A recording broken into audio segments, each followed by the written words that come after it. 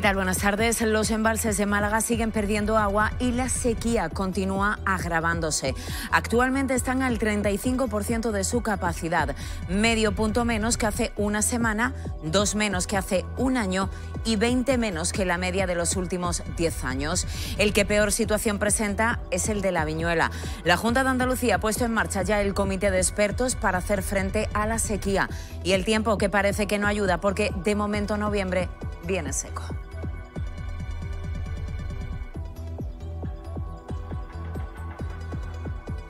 La provincia de Málaga consolida su liderazgo tanto en Andalucía como España como el primer polo de atracción de inversión extranjera con 345 millones de euros en 2021, un 37% más que en 2020.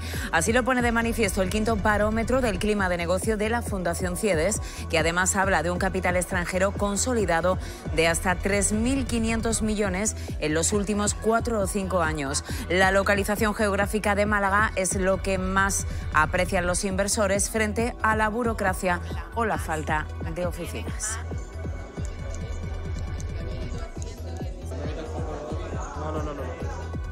Estreno de Gospel, la tercera producción propia del Teatro del Sojo de Málaga. Un musical basado en el famoso montaje de los años 70 que triunfó en Broadway, creado por Emilio Aragón y Antonio Banderas, que en esta ocasión no forma parte del elenco de actores. El estreno fue anoche y a él acudieron multitud de rostros conocidos del mundo del espectáculo, la política y la sociedad en general. Hasta el 8 de enero estará este musical en cartelera.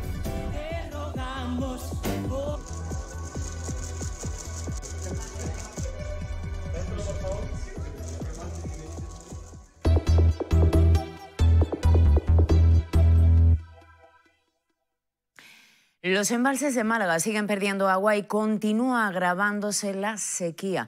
Actualmente están al 35% de su capacidad, 20 puntos menos que la media de los últimos 10 años.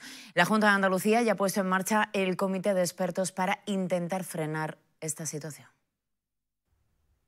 Sigue sin llover y los embalses de Málaga siguen perdiendo agua. Actualmente están al 35% de su capacidad, medio punto menos que hace una semana, dos menos que hace un año y 20 menos que la media de los últimos 10 años. El que peor situación presenta en la provincia es el de la Viñuela, que está al 9%, 10 menos que la misma semana de 2021 y 35 menos que la media de la última década. Ante esta situación, la Junta de Andalucía ha puesto en marcha ya el comité de expertos para hacer frente a la sequía.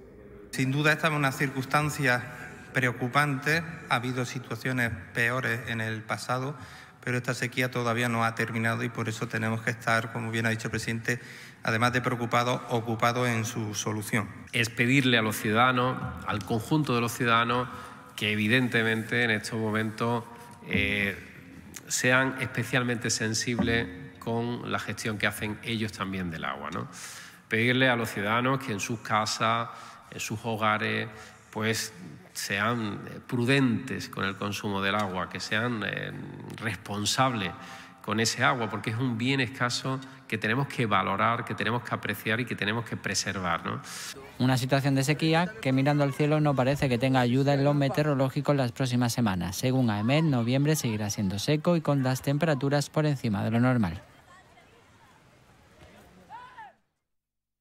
El presupuesto de la Junta de Andalucía para luchar contra la pobreza infantil crecerá un 9,5% en 2023. Lo ha anunciado hoy la consejera de Economía, Carolina España, en la visita a la sede de Inserta Andalucía. Una visita que ha seguido de cerca nuestro compañero Manu García.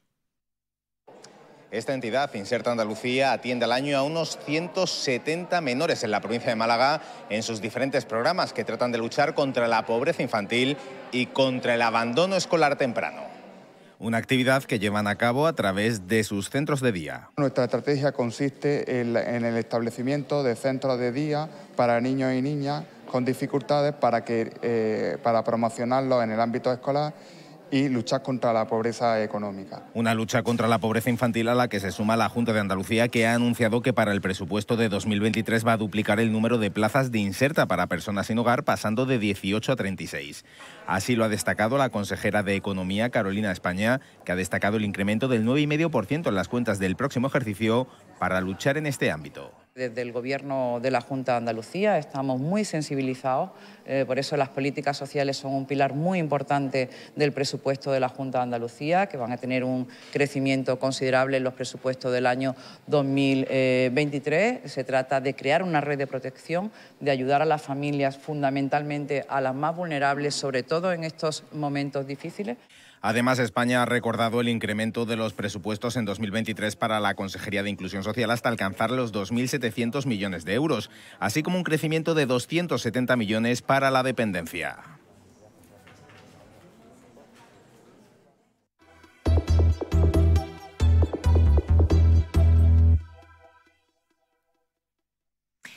Málaga se consolida en 2021 como la primera en Andalucía en recibir inversión extranjera bruta con 345 millones de euros, un 32%, un 37% más que en 2020. Así lo revela el quinto barómetro del clima de negocios de la Fundación Ciudades. La provincia de Málaga estabiliza su liderazgo en Andalucía y España como primer polo de atracción de inversión extranjera bruta, liquidando 2021 con 345 millones de euros, un 37% más que en 2020 y consolidando en los últimos cuatro o cinco años un stock o capital extranjero de hasta 3.500 millones, el 33% del total de la región.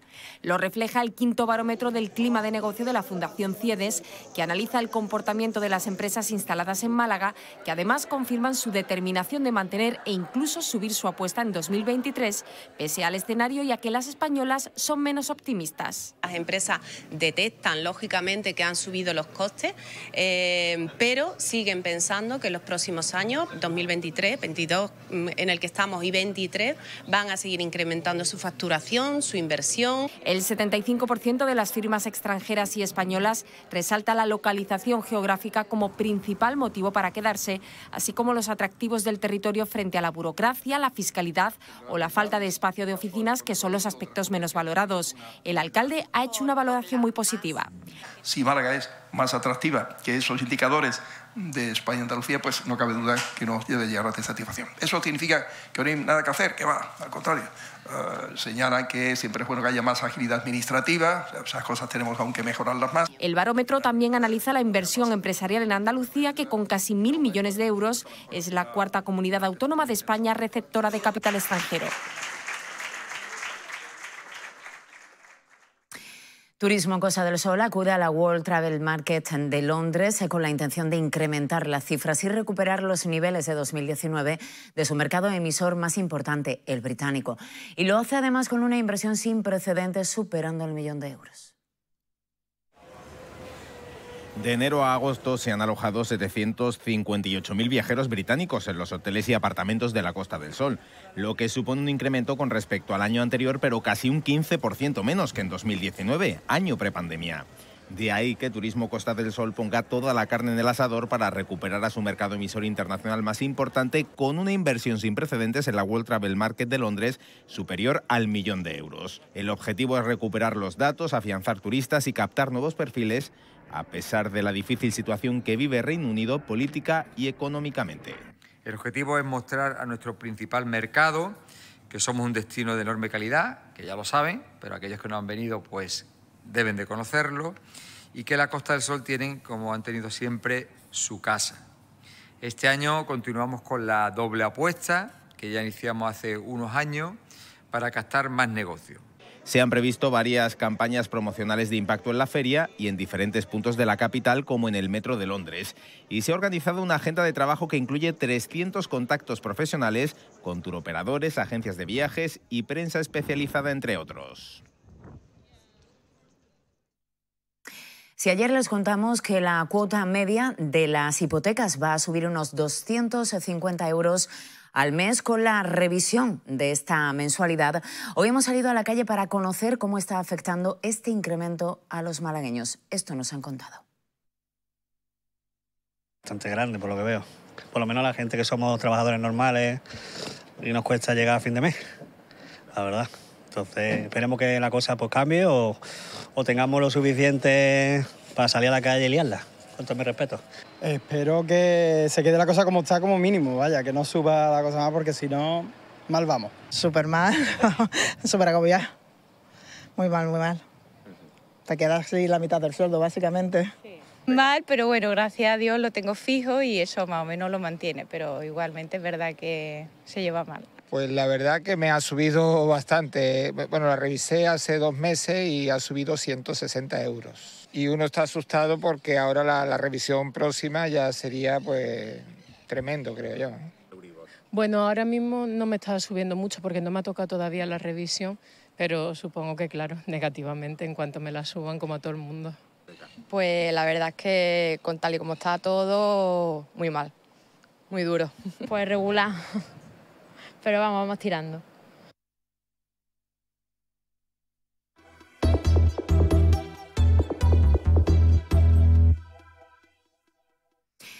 El juzgado de instrucción número 2 de Málaga acuerda el ingreso en prisión provisional comunicada y sin fianza del detenido por la muerte de un hombre de 28 años en la barriada de La Corta el pasado lunes. El arrestado que ya ha, que ha prestado declaración ante el juez está investigado por un delito de asesinato con arma de fuego. Recordemos que fue detenido el miércoles por agentes de la Policía Nacional como presunto autor de los cinco disparos que acabaron con la vida de dicha persona.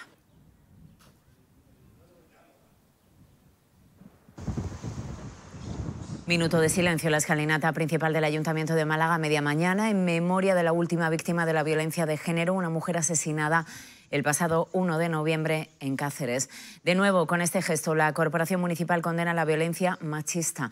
En lo que llevamos de año, 36 mujeres han fallecido a manos de sus parejas o exparejas, tres menos que en el mismo periodo del año pasado.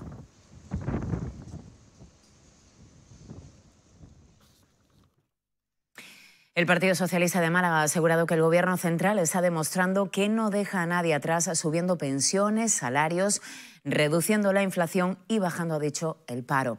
Los socialistas defienden que los datos de desempleo de octubre ponen de manifiesto que las medidas del Ejecutivo y la reforma laboral están dando frutos. Nos encontramos en estos momentos en una tasa de paro que está por debajo de los 2.900.000 desempleados en este caso en el país. Esto es un dato que nos tiene que alentar a seguir trabajando para seguir bajando los datos de paro. Pero sí podemos poner de manifiesto que la modificación de la reforma laboral está dando fruto.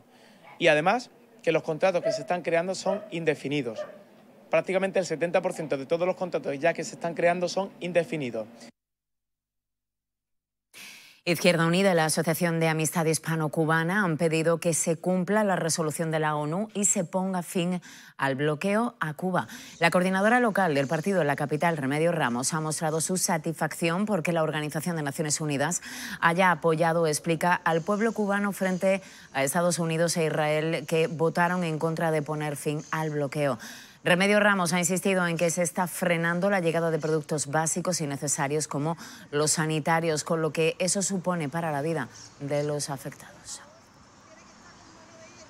Que en Cuba se les niegue por parte de los Estados Unidos el líquido para, para, para guardar, para conservar un órgano. Y como eso es todo, son medicamentos, son los laboratorios, es productos básicos como alimentación, es un bloqueo criminal injusto que no nos cansamos de condenar y de mostrar el apoyo al pueblo cubano. El bloqueo está condenando al hambre, está condenando a la muerte a muchos cubanos que no pueden acceder a medicinas que tendrían si no hubiera el bloqueo.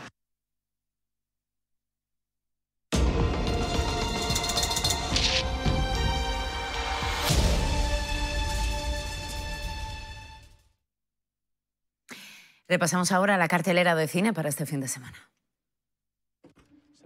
No mires a los ojos es la historia de un hombre que tras pasar 20 años trabajando en una misma empresa pierde su empleo y tras esto acabará en un camión de mudanzas dentro de un armario. Mobiliario que acaba en casa de una pareja que vive con su hija adolescente, pero en vez de salir y huir decide permanecer dentro. Desde ese momento se convertirá en un inquilino más pero encubierto y les ayudará desde la sombra a hacer que su día a día sea mejor. Basil cuenta como un inmigrante búlgaro con pocos recursos malvive en la calle ganándose la vida con su único talento, los juegos de mesa. Poco a poco irá haciéndose más popular en el bridge, un popular juego de la ciudad. Pero su vida cambiará cuando en su camino se crucen tres personas que se convertirán en sus grandes aliados. Para entrar a vivir, relata la historia de una pareja que acaba de encontrar la casa que deseaban. Todo parece ideal hasta que se dan cuenta de que es aún mejor. La casa les da todo lo que piden. Pero hay un problema. Si dejan de pedir, la casa les obliga a hacerlo y si no lo hacen pueden acabar, igual que los antiguos inquilinos. Factoría Echegaray arranca en noviembre su séptima temporada y lo va a hacer con un montaje de danza contemporánea que anima a reflexionar sobre la relación del ser humano y las máquinas. Nuestra compañera Lara Hernández ha estado en los ensayos esta mañana. Heroes es la primera producción de la nueva temporada de Factoría Echegaray y como pueden ver ya están perfilando detalles en los ensayos de este montaje, una pieza de danza contemporánea con música compuesta para la ocasión en la que reflexionan sobre tecnología, humanidad y naturaleza. La coreógrafa Carolina Márquez y la compositora Carmen Jara quieren que el espectador piense en qué situación nos encontramos como sociedad y en las consecuencias de la revolución industrial y tecnológica para el medio ambiente y el ser humano. Sí, sí, sí, es un poco de, también del, del control de la, de la, máquina sobre el humano. Es un poco robótico, ellos están en una especie de trance que les está eh, dirigiendo ¿no? y diciéndole lo, cómo deben actuar, ¿no? cómo es parar ahí. Ahora podéis continuar vuestros movimientos. El montaje lo protagonizan Sandra Abril, Marina Migueles, Inma Montalvo y Carlos Novella. Ahora el proceso creativo se centra en pulir movimientos y analizar qué se quiere transmitir en cada escena. Eh, a mí me sirve mucho hacer como muchos pasos, muchos pasos y conseguir poco a poco como esa propia historia mía dentro de, toda la puesta en escena y cómo una escena me, me, me, lleva a la otra según lo que he sentido. Y entonces, pues bueno, eso es lo que nos toca ahora, hacer pases y como conjugar todas esas emociones. El montaje se subirá a las tablas del Teatro Chagará el próximo 16 de noviembre y habrá pases de miércoles a sábado hasta el día 26. Y el Teatro del Soho, que ya ha estrenado su tercera producción propia, se trata de Gospel, un musical basado en el famoso montaje de los años 70 que triunfó en Broadway. Creado por Emilio Aragón y Antonio Banderas, que en esta ocasión no forma parte del elenco de, de actores, se trata de una versión desenfadada, simpática y vibrante en palabras de su director. El estreno fue anoche y a él acudieron multitud de rostros conocidos del mundo del espectáculo, de la política y de la sociedad en general en nuestro país. Gospel permanecerá en cartel hasta el 8 de enero.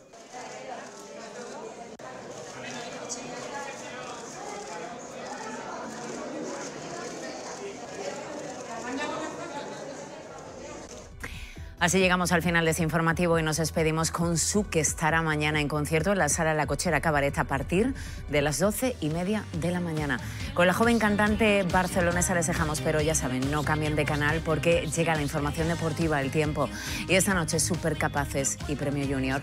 Nada más disfruten y mucho del fin de semana. Les veo el lunes.